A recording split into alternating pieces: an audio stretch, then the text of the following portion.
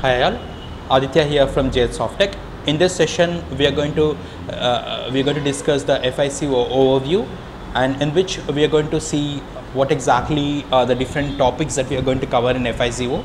And the, in the first class, we basically discussed more about ERP concept and what exactly is SAP. As we discussed, ERP is a concept, enterprise resource planning, and uh, we also discussed about the SAP. SAP is actually a company which deals with ER, uh, enterprise solutions. Now here in SAP FICO, SAP means systems, applications and products in data processing and FICO means finance and controlling. Now this is an ERP solution given by SAP. Uh, the ECC 6.0 is the latest version that we have. So FI overview. So in the FI we have various sub subtopics in which we have GL, AR, AP, special ledger, controlling and asset management. As I already discussed, controlling comes as a separate module which will be handled separately and uh, this is all about FI. So GL means general ledger, AP means accounts payable, AR stands for accounts receivable and AA is for assets, asset accounting and SL is special ledger. GL is any transactions that happen will be maintained in general ledger.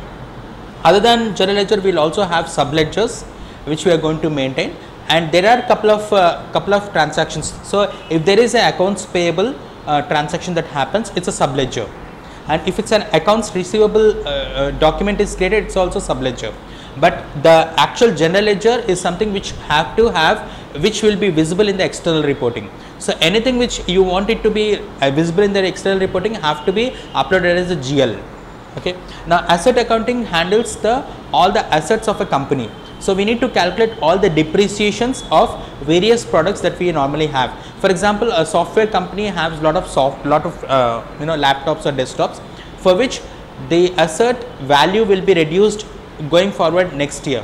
So we have to calculate the depreciation and enter that in the maintain that in the asset accounting. And we have something called special ledger which which deals with the different types of uh, transactions which we are going to discuss in the coming classes. Now here Financial accounting is basically used for external reporting, uh, GL reporting, legal or external reporting. So, all reports that we generate for legal purpose are FI, FI related, finance. Okay, controlling is internal, purely internal that I already discussed. So, legal or external reporting, balance sheet, income statement, statements of financial position, all these are generated at the financial accounting level. As we already discussed uh, initially, basically finance accounting financial accounting deals with external accounting in which we have financial position profit and loss and balance sheet these are being shared we have we need to share these things with the bankers or lenders who have lended the money with money to us for external auditors who audit our company and SEC for senior executive committee and we have IRS or taxing committee uh, taxing authorities. So for for those people also we have to maintain the uh, documents and, and then clear it. And stockholders okay whoever has invested amount in our company for those people also we can. So we have CO EC overview. We have cost center accounting uh, cost tracking internal internal orders uh, small projects and projects PS large projects. Product costing product costing activity based costings profitability analysis profit center accounting and the executive info system. All this uh, all this comes under the controlling controlling part. So internally if you if you see uh, in general controlling deals with uh, internal uh, management reporting or internal reporting by cost centers or other or other cost objects and cost elements. Cost centers, orders and projects, budget plan, actual versus the plan these are all you know uh, maintained in the controlling level. And the internal accounting we have controllers, we have senior management, we have department managers and we have executives. So, all these are the people who actually go ahead with the internal accounting and FI deals with the external accounting that is legal or external reporting Uh, reports by account balance sheet income sheet and all. And controlling is internal management reporting reports by cost centers and cost elements cost center reports.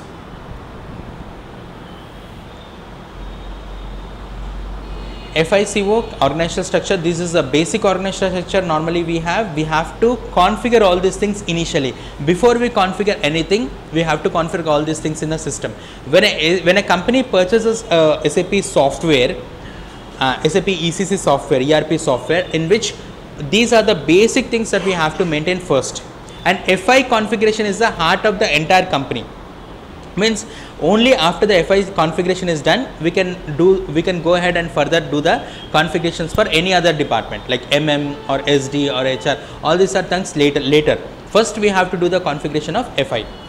Now in this we have client, company, chart of accounts, company code, business area, credit control area and controlling area. So these are the client is the highest level of hierarchy uh, which is like you know if let's say I have taken the example of BMW if if normally we say who is your client? BMW is our client okay?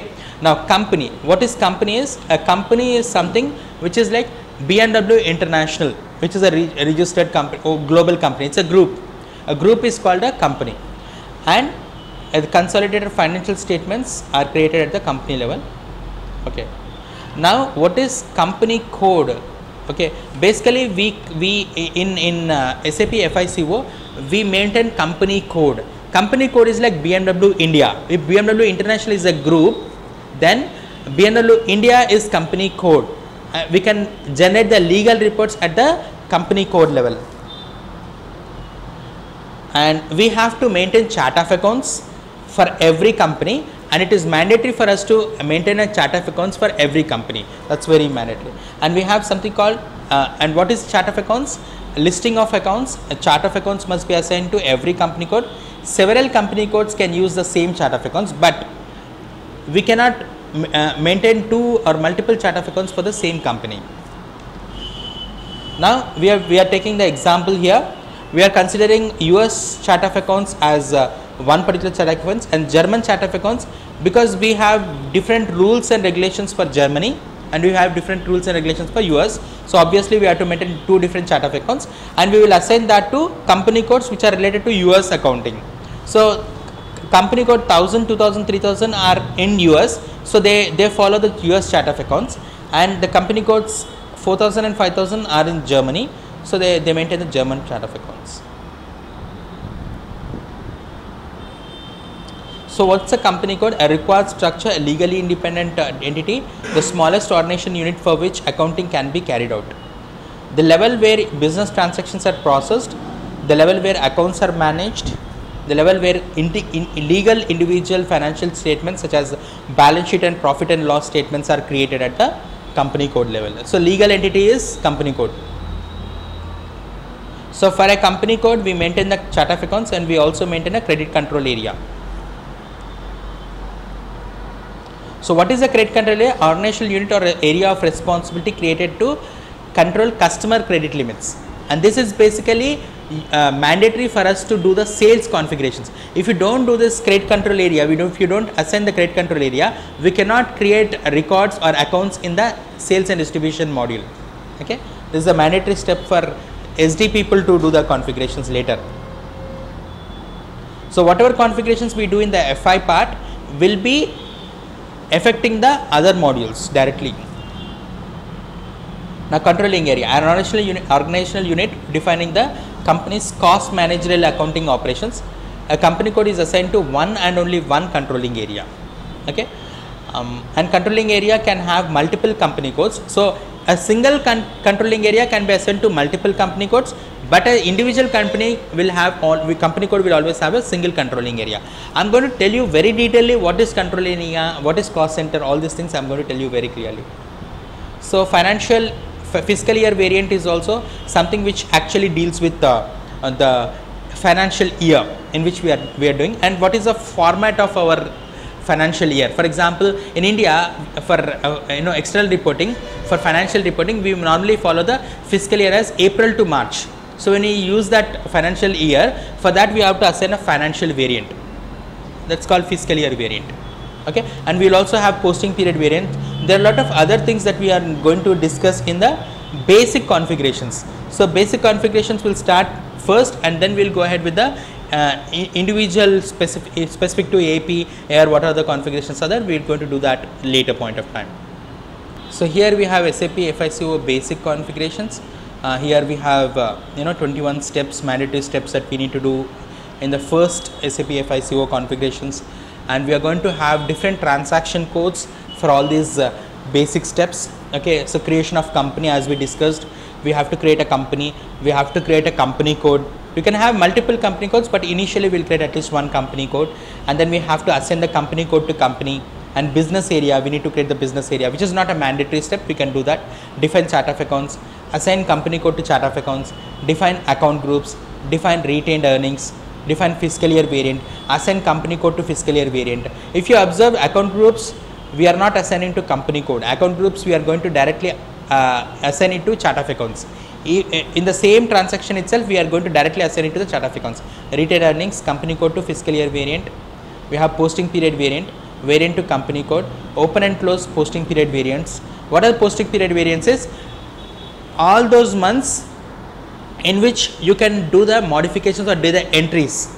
For example if i open the posting period for july august september you can create a record or create you can create an entry only in that three months. You cannot create an entry in the other other months because i have opened only that three months. Okay so we'll we're going to discuss that in detail and field status variant wherein we we will we will decide what are the fields that should appear on the screen.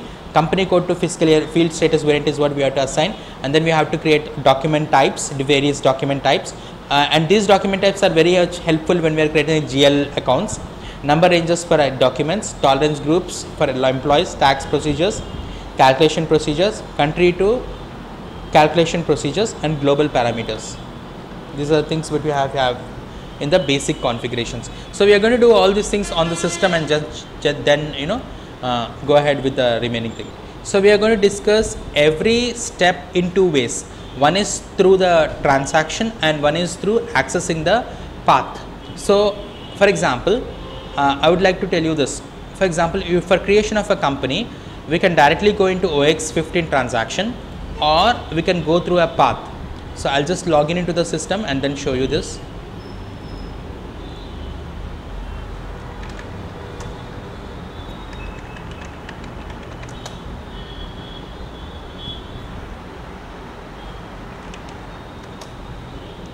Now, I went into SPRO, SAP IMG reference and then we have financial accounting. First, we need to go into enterprise structure because we need to create the company for definition and in this we have financial accounting and define company. This is path. Okay, so we went into SPRO and in the SPRO we went into enterprise structure. In the enterprise structure definition, definition financial accounting and define company. This is what we have in the define company. But when it comes to uh, you know uh, transaction code directly you can come to the same screen using OX15 transaction. I just type OX15 here and that will that the same screen appears here. So we have path and we also have transaction codes directly. But when it comes to as I was discussing about the segment, if you want to if you if you go for segment for creation of segment there is no transaction code. This is the latest one which is included so we don't have a transaction code for that but when it when you want to just create a something like you know company code if you want to edit edit comp, edit copy delete okay if i click on this you will get the screen here